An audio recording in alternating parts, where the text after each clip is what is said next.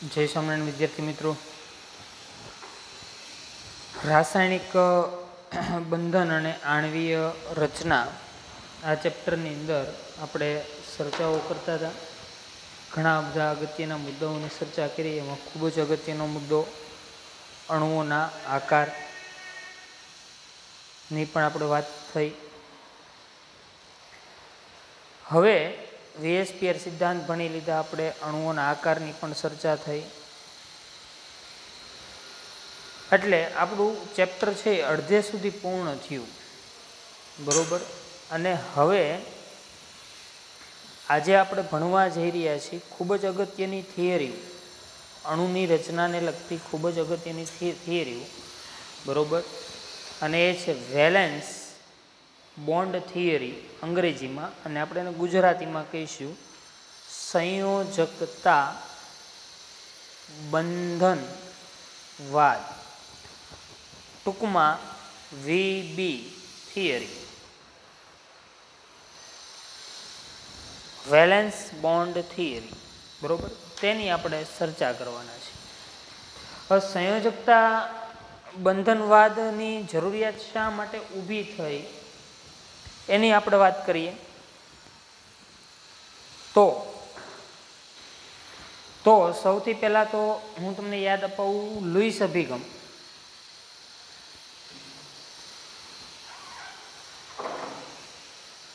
આપણે જેટલા પણ મુદ્દાઓ ચર્ચા કર્યા, એની ક્યાંક ને ક્યાંક મર્યાદા છે. તો લુઈસ અભિગમ આપણને લોન પેર અને બોન્ડ પેર ઇલેક્ટ્રોનની આપણને ચર્ચાઓ થઈ એમાં. તો લુઈસ અભિગમ છે એની ખાસિયત શું છે ભાઈ? તો કે લુઈસ અભિગમ છે એ અણુના આકાર લખવામાં મદદરૂપ છે.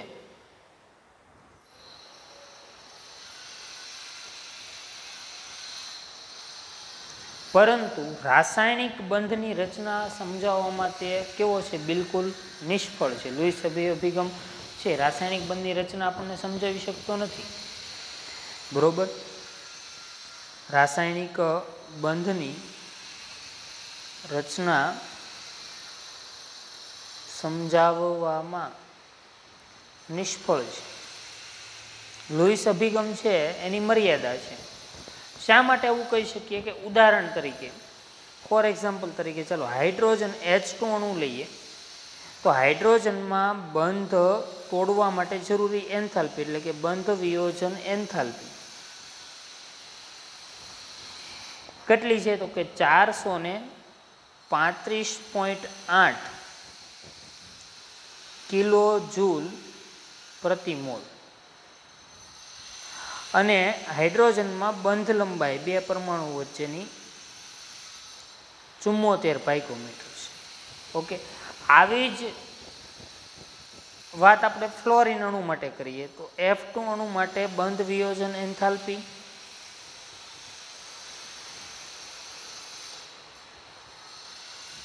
નું મૂલ્ય કેટલું છે? તો કે એકસો પંચાવન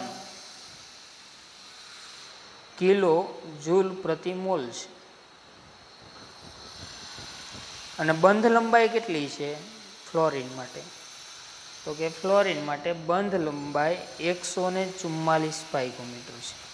હવે આ વસ્તુને ધ્યાનમાં લ્યો, એટલે અહીંયા બેની બંધ તોડવા માટે જરૂરી ઊર્જા અને બંનેની બંધ લંબાઈ. બે અલગ. જો, બે અણુ એક સરખા છે દ્વિપરમાણવી અણુ છે, બે પરમાણુના બનેલા અણુ.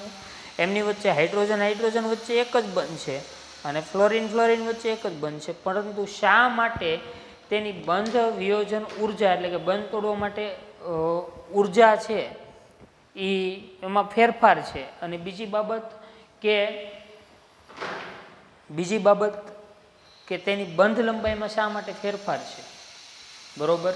તે સમજાવી શકતો નથી. બરોબર? કારણ કે આ બંનેમાં સહસંયોજક બંધ બને છે. બરોબર? એ સમજાવી શકતો નથી. તો આમ, આ અભિગમ એટલે કયો અભિગમ? લુઈસ અભિગમ. આ અભિગમ બંધ લંબાઈ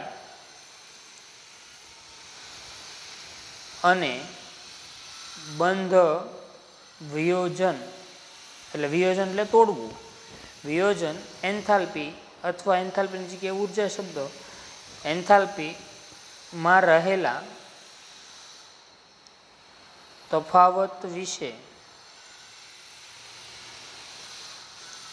સમજાવી શકતો નથી. તો આ લુઈસ અભિગમની મર્યાદા છે. બરોબર? આ આ આ શા માટે બે વચ્ચે બંધ એન્થાલ્પી અને બંધ લંબાઈની અંદર તફાવત છે એ સમજાવી શકવો શકવો જોઈએ લુઈસ અભિગમ પણ એ સમજાવી શકતો નથી. ઓકે? ત્યારબાદ બીજી બાબત કે તે બહુ પરમાણવીય અણુ એટલે બે કરતાં વધારે પરમાણુઓના બનેલા અણુઓના આકાર વિશે કોઈ માહિતી આપતો નથી. લુઈસ અભિગમ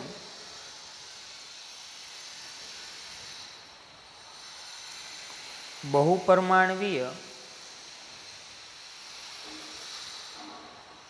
અણુઓના આકાર વિશે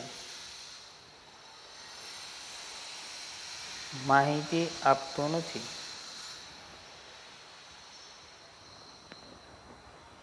બરોબર? કોણ માહિતી આપે ને કોણ માહિતી આપતું નથી? તો કે લુઈસ અભિગમ આપણને બહુપરમાણીય અણુઓ છે, તેના આકાર વિશે કોઈ સ્પષ્ટતા કરતું નથી. બરોબર? વીએસપીઆર સિદ્ધાંત માહિતી આપે છે બધા અણુઓના આકાર, બહુ પ્રમાણમાં અણુ. આપણે ગયા લેક્ચર સુધી જે અણુઓના આકાર જોયા એ બધા શેના આધારે જોયા હતા?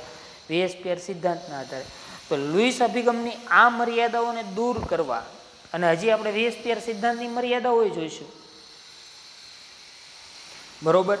આ બધી બાબતોને દૂર કરવા માટે જે વાદ આવ્યો, અને આપણે કયો વાત કહીએ છીએ? સંયોજકતા બંધનવાદ એની આપણે ચર્ચાઓ કરીએ છીએ. બરાબર? એ પહેલાં એટલે મુદ્દાઓ ખાસ લુઈસ અભિગમ.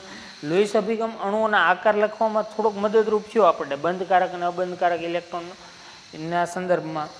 પણ રાસાયણિક બંધ કેવી રીતે બને એ સમજાવવામાં બિલકુલ કેવો છે? નિષ્ફળ છે. અને પછી બે ઉદાહરણ, હાઇડ્રોજન અને ફ્લોરિન. તો હાઇડ્રોજન અને ફ્લોરિન બે દ્વિપરમાણુય અણુ છે તેમાં બંધ લંબાઈ શા માટે અલગ છે? બંનેની બંધ વિયોજન એન્થાલ્પી શા માટે અલગ છે? એ સમજાવી શકતો નથી. બહુપરમાણીય અણુ માટે પણ લુઈસ અભિગમ છે, નિષ્ફળ ગયો. ત્યારબાદ આપણે વાત કરીએ તો વીએસપીઆર સિદ્ધાંત. વી એસ ઈ પીઆર સિદ્ધાંત. ખબર હોવી જોઈએ આપણને પૂરું નામ? Valence shell electron pair repulsion, એટલે કે સંયોજકતા કોષમાં ઇલેક્ટ્રોન યુગ્મનું અપાકર્ષણ. ઓકે, તો વીએસપીઆર સિદ્ધાંત છે. બરોબર? વીએસસીપીઆર સિદ્ધાંત એ આપણને સાદા અણુઓની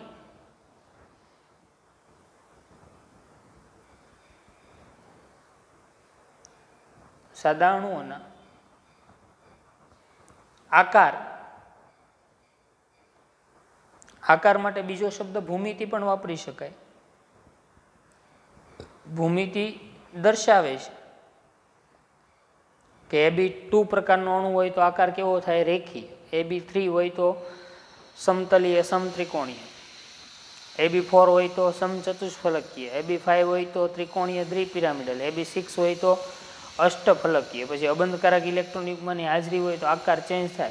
એમ વીએસપીઆર સિદ્ધાંત છે આપણને આકાર દર્શાવે છે. પરંતુ સૈદ્ધાંતિક રીતે તેને પૂરેપૂરો સમજાવી શકતો નથી. બરોબર? પરંતુ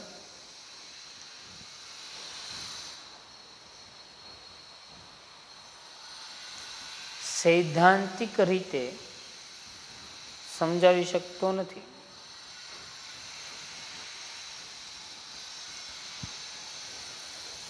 અને તેના અનુપ્રયોગો અનુપ્રયોગો એટલે ઉપયોગો. વીએસસીપીઆર સિદ્ધાંતના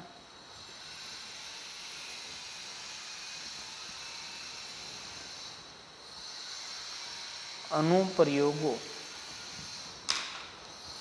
અનુપ્રયોગો માટે કયો શબ્દ વાપરશું આપણે? ઉપયોગ. મર્યાદિત છે. તો આ બધી બાબતોને ધ્યાનમાં લેતા ક્વોન્ટમ યાંત્રિકીય સિદ્ધાંત આધારિત બે સિદ્ધાંતો આવ્યા, બરોબર? અને તેની આપણે વાત કરશું. બે વાત દાખલ થયા અને તેની વાત કરશું, બરાબર? સિદ્ધાંતો જે આવ્યા, જે થિયરીઓ આવી બે, બરોબર? એ કઈ થિયરીઓ આવી? તો કે બે થિયરીઓ આપણી સમક્ષ રજૂ થઈ બરોબર? પછી પહેલાં લુઈસ બિંદુ નિરૂપણ આવ્યું, પછી વીએસપીઆર સિદ્ધાંત આવ્યો એમાં સુધારા વધારા થયા, અને હવે આપણે ક્યાં કઈ તરફ પહોંચ્યા છીએ? તો કે આ બધી મર્યાદાઓને દૂર કરવા માટે સિદ્ધાંત કયા આવ્યા બે? તો કે બે વાદ આવ્યા. સંયોજકતા બંધનવાદ અને બીજો વાદ છે એ આણવીય કક્ષકવાદ આણવીય કક્ષકવાદ અને એમાં એને ટૂંકમાં દર્શાવવું હોય તો સંયોજકતા બંધનવાદને વેલેન્સ બોન્ડ થિયરી. બરોબર? અને આણવી કક્ષકવાદને એમ ઓ ટી એટલે કે મોલેક્યુલર ઓર્બિટલ થિયરી. બરોબર કહીએ છીએ. તો આજનો આપણો જે ટોપિક છે એ કયો? તો સંયોજકતા બંધનવાદ એની જરૂરિયાત શા માટે ઊભી થઈ? એની મેં વાત કરી. સંયોજકતા બંધનવાદ વિશે આપણે વિસ્તૃત માહિતી મેળવશું. બરાબર? વિસ્તૃત ઘણી બધી બાબતોની ચર્ચા કરશું. પહેલાં હું તમને ટૂંકમાં સમજાવી દઈશ સંયોજકતા બંધનવાદ બરોબર? સંયોજકતા બંધનવાદ કોણે આપ્યો હતો કે ભાઈ ઈસવીસન ઓગણીસો ને સત્યાવીસમાં હિટલર અને લંડને દાખલ કર્યો.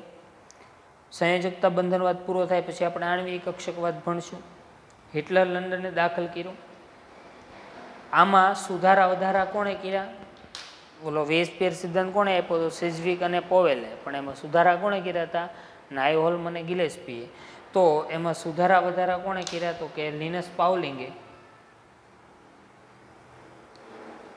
પાઉલિંગે તેમાં સુધારા કર્યા.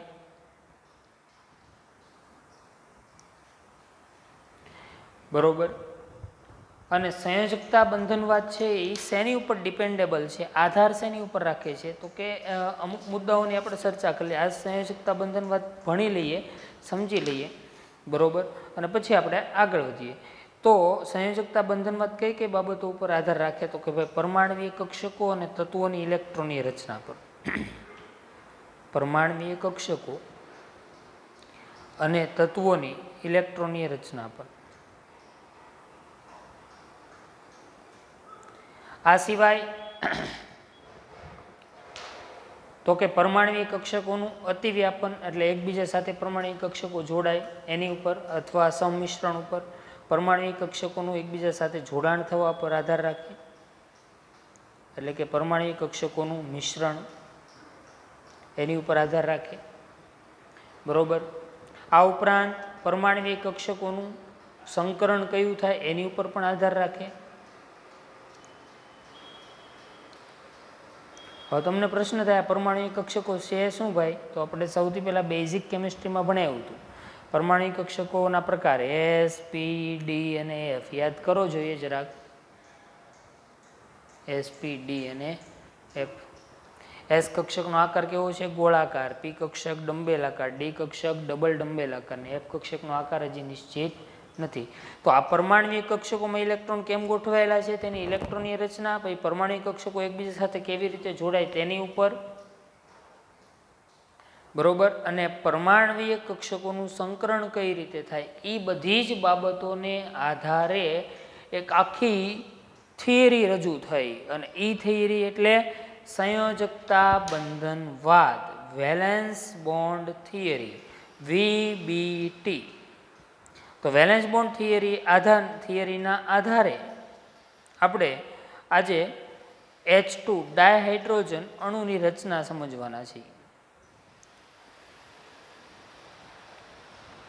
ડાયહાઇડ્રોજન અણુ કેમ બને, કઈ રીતે બને, એ સમજાવવાનો પ્રયત્ન કર્યો તો આપણને હિટલર અને લંડને ત્યારબાદ તેમાં સુધારા વધારા કર્યા લિનસ પાઉલિંગે. તો હવે આપણે જોઈએ ડાયહાઇડ્રોજન અણુની રચના.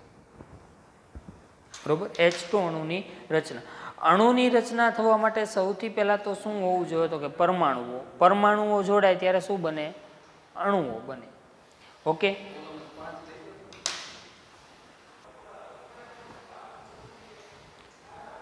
આગળ વધીએ. વેલેન્સ બોન્ડ થિયરી બરોબર? બે હાઇડ્રોજન પરમાણુ એ અને બી બરોબર? ચલો. હાઇડ્રોજન પરમાણુ એક એ હોય. અને એક બીજો કયો હોય તો કે બી. હાઇડ્રોજન પરમાણુ હોય તો એનું કેન્દ્ર હોય તો એને એચ એ હું કહું અને એનું ઇલેક્ટ્રોન હોય તો એને હું શું કહું? ઈ એ કહું. ઓકે? બીજો હાઇડ્રોજન પરમાણુ એચ બી તેનો ઇલેક્ટ્રોન ઈ બી બે હાઇડ્રોજન પરમાણુઓ છે. તેના કેન્દ્રો, બરાબર? એચની જગ્યાએ એન પણ દર્શાવો તમે અહીંયા. એન એ અને એન બી ચલો, અહીંયા કેન્દ્રને દર્શાવવું હોય તો કઈ સંજ્ઞા છે? એન એ અને ઇલેક્ટ્રોનને દર્શાવવું હોય તો? ઈ એ એ પરમાણુ માટે. બી પરમાણુ માટે કેન્દ્ર એન બી અને ઇલેક્ટ્રોન ઈ એ જ્યારે આ બે પરમાણુઓ એકબીજાથી દૂર હતા, ત્યારે એમની વચ્ચે કોઈ પણ પ્રકારનું આકર્ષણ કે અપાકર્ષણ કાંઈ લાગતું હતું નહીં. એકબીજાથી ઘણા દૂર છે એવી કલ્પના કરીએ આપણે. ત્યારે એમની વચ્ચે કોઈ પણ પ્રકારનું આકર્ષણ કે અપાકર્ષણ બળ લાગતું નહોતું. અહીંયા આપણે એવું માની લઈએ, પહેલી પરિસ્થિતિ, કે બંને પરમાણુ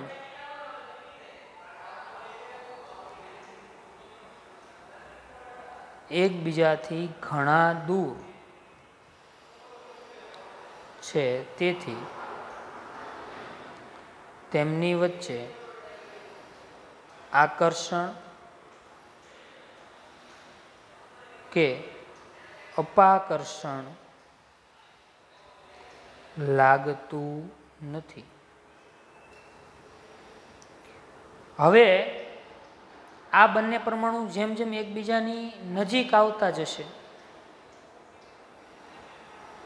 જો હું જે વાત કરું છું, અત્યારે તમને કઈ કરી કે આ બે પરમાણુ એકબીજાથી દૂર હતા, એટલે એમની વચ્ચે આકર્ષણ, અપાકર્ષણ નહોતું લાગતું. પરંતુ યાદ રાખો, દરેક પરમાણુનો પોતાનું કેન્દ્ર અને પોતાના ઇલેક્ટ્રોન ઉપર આકર્ષણ બળ લાગતું હોય. હું જે કહું છું એ પૂરી રીતે સમજો, સમજજો. આ કેન્દ્ર છે, આકર્ષણ બળ કયું લાગે? તો કે પોતાનું કેન્દ્ર અને પોતાનું ઇલેક્ટ્રોન. આ કેન્દ્ર એનો એ પરમાણુનું કેન્દ્ર અને એ પરમાણુનું ઇલેક્ટ્રોન. બી પરમાણુનું કેન્દ્ર અને બી પરમાણુનું ઇલેક્ટ્રોન. આ આકર્ષણ બળ લાગતા હતા. પરંતુ બે પરમાણુ વચ્ચે લાગતા નહોતા. હવે બે પરમાણુ જેમ જેમ એકબીજાની નજીક આવતા જાય, તેમ તેમની વચ્ચે આકર્ષણ બળો અને અપાકર્ષણ બળો લાગે. બરોબર? જેમ બે પરમાણુ એકબીજાની નજીક આવશે, તેમ આકર્ષણ અને અપાકર્ષણ બળો લાગે. કોની કોની વચ્ચે આકર્ષણ અને અપાકર્ષણ બળો લાગે? તો એની આપણે વાત કરીએ. ચલો. આ પરમાણુનું કેન્દ્ર એન એ હતું. એનો ઇલેક્ટ્રોન તો